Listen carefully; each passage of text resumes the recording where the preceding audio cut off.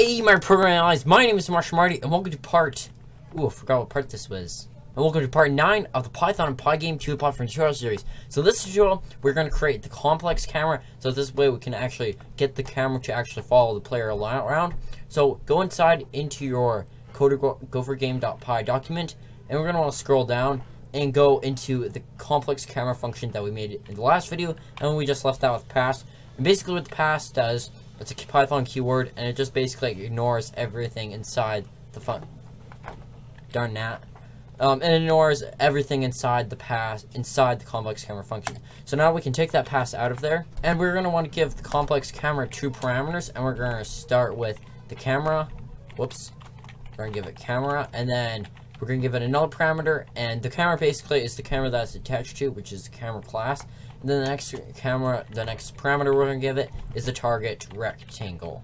So we go target, and then capital, and then rect. Hit new line, and then here we were going to want to set type X, and then add a comma after that, Y, add a comma after that, width, which is abbreviated by W, and then height, we're going to set all that equal to the target rect. And this is going to set the attribute of X, Y, and width to the target rectangle. Hit enter, and now we want to return the value, and the value that's going to be returned is now the current the current position of the camera on the screen, or not on the screen, but on the actual level. So we're going to return is we're going to return a Pygame rectangle, which is spelled with a capital R because it's a actual class, and open up some parameters. And parameters we're going to give it is we're going to first we want to go into the top of the code, scroll all the way up to the top. We're going to want to create another variable here. We're going to call this variable here half, and then when we can capitalize W, when, and we can abbreviate this. We'll know it's the window height, and we'll name this half window height. And the reason we're going to have this is because this this way it's going to be based on the half of the window height, so that this way the player is going to be stuck. The player will not move further than half of the window height or width before the camera updates. So that's going to be his basic little imaginary boundary that he has before the camera updates. So we're going to set this here. We're going to set this to the window width, when width, and we're going to just divide it by 2. And to divide it, just add a forward slash, and spaces in between the forward slash doesn't really matter at all. We can divide that by 2. Enter. We can copy this here, so Control C. Quick little quick little shortcut that I like to use is if you hit shift and then use the keys, then you can select stuff without even using your mouse. I just spilled all my USBs. Because I have like this little container full of them. It's like my little arsenal of cool codes and crap like that. So anyways, we can copy that, so copy that, control C, then we can paste it in the line below it with control V, and again, we can just change that width to, uh, I mean that height to width, do the same thing here, and this is going to give us the exact the exact size of half of the width and half of the height. It's now good to go. So now scroll back down into the complex camera function. So in here, we're going to return the rectangle. And first thing we want to do is we want to type half of the window width. So we can, uh, yeah, half, and then win, and then width. I mean, actually, yeah, width first, because x first, and then y. And then we're going to subtract from that, we're going to subtract x, add a comma, and then we're going to do the same thing for height. So just copy that, control C, and you can paste that in there. And we're going to just replace that with height, height, and add that, change that x to a y now, wex, whoops, wex, why did I, I don't know why I said that, but whatever. Add W, and that's for the width of the, I mean, yeah, the width of the total camera plane range, and then H, and that's for the height of the total camera plane range. So now if we hit F5, and hopefully no errors, and yep, no errors, but it's not truly testing it because it's not actually running the, the camera class or the complex camera, so we, we aren't really sure quite yet. So to do that, we're going to have to scroll up into the main function. So now we want to, uh, I got a bug crawling on my neck now. Where are all these bugs coming from even? I need to get a can of Raid. But anyways, so now what we want to do before create the camera class, I mean camera object I should say, is we want to go into the for loop for for row and level. And then right after here, we're going to want to space out our chunks of our chunks of earth and stuff like that, our blocks correctly. So we're going to space them out. We can start with spacing them out by 50 by 50 squares. So all you have to do is type x and then plus equals, which is the, how you add something in programming. So it's plus equals, and then we're going to add 50 there. So this way, before it's going to run the chunk of code here, add another class to the list, and then what it's going to do is add 50 to the, its X position, and then this way it's going to go ploop, ploop, ploop, ploop. It's not going to all be plunked on overlapping each other, which is not going to really look nice. Hit enter and then D tab. So be sure you D tab like so. And then in here we're going to want to do the same thing for Y. So for for in the column, so this way that it's not going to be plunked again all overlapping, which isn't going to look too nice. So add 50 there. And then after that we can set X back to zero again.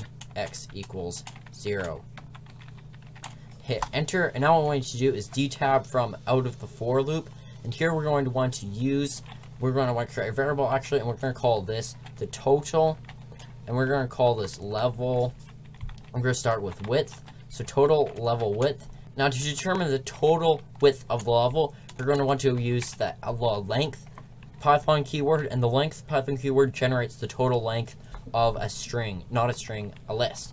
So then we want to give it the parameters. The parameters we're going to give it is the level parameters, so level, and then we're going to want to open up some square braces, which is how you use a list, and we're going to set that at zero. So this is going to be the width, and it's going to gather the entire length, the entire width of the level, and we're, it's going to at, start that at the zero position of the list, and go all the way through, and then it's going to, and what now we want to do is we're going to hit the asterisk icon, and add that by not 32 by 50 and this way it's going to be spaced out by 50 we can do the same thing for height.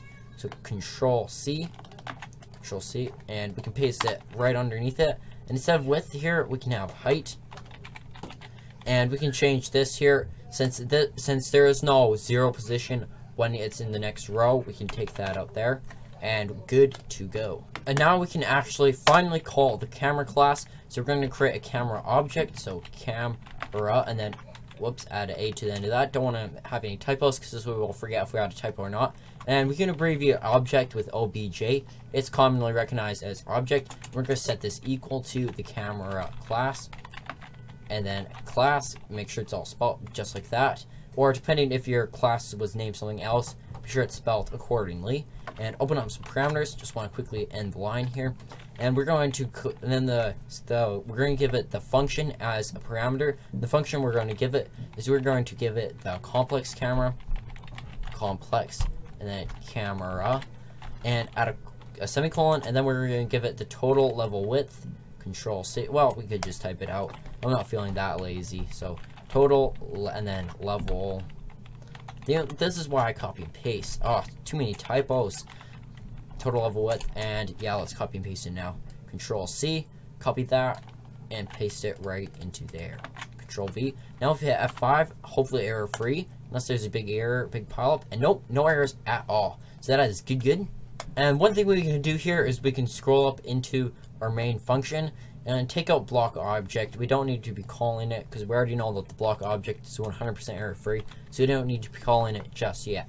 While we're at it cleaning up the code, let's clean up a few unneeded white spaces. We can take out a white space there too. And whoops, I don't want to delete that. Yeah, I don't want to delete that. And here's some unneeded white space for some bizarre reason. Don't know about that. And now uh, we also want to fix this here. We want to go into DEF main, where it says main, and scroll down. And then the while one, we're going to create a boolean that is going to be set to true. So we're going to at the top of the code, we're going to create a boolean, and to create a boolean, all you have to do is just type the name of your variable. Game running. You don't have to tell the interpreter what type of data type it is. It already automatically knows, so that's kind of nice. Hit game running, and we're going to set this equal to true, and true, good to go. And then inside the, the main function, into while one, we're going to replace that to game and then running. And this way it's going to only be running the while loop while the game is running. Hit F5 to make sure no typos or spells. And good to go. So I hope you guys all enjoyed this tutorial. Next tutorial, we are going to get into some visual progress. We're going to get a little block on the screen. And if you guys have any questions or comments about Python or Pygame, leave that down in the comment section. And I'll be seeing you tomorrow. Marshmallow out.